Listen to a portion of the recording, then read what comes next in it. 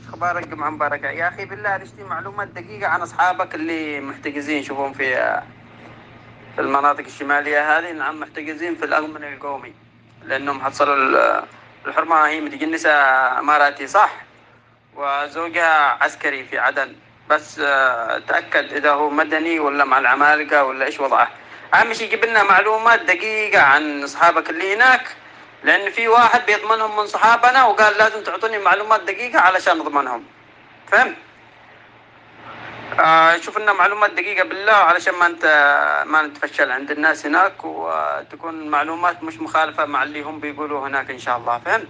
لأن إذا كانت معلومات مخالفة بيكون في شبهة في الموضوع.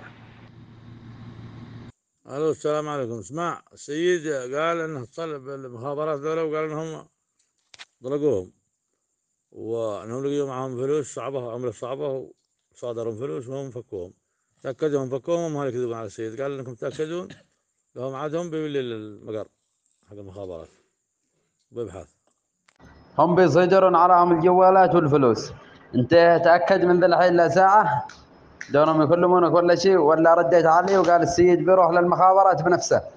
إذا تاكدتوا ما هم شيء افتكوا قال أنا كلمت المخابرات وقالوا انهم افتكوا قال صادروا عليهم الفلوس وفكوهم لكن قال تاكدوا اذا ما افتكوا أنا بروح للمخابرات عبد الله كيف حالك هذا حسين مكسر قال لك كلم السيد وقال انهم لقيوا فلوس وصادروا فلوس واطلقوا الجماعه في معك تاكيد ولا دونهم يدقون عليك ولا احكي له اتصل بالسيد وبقول له شوف ما افتكوا شي ما انغشوا عليه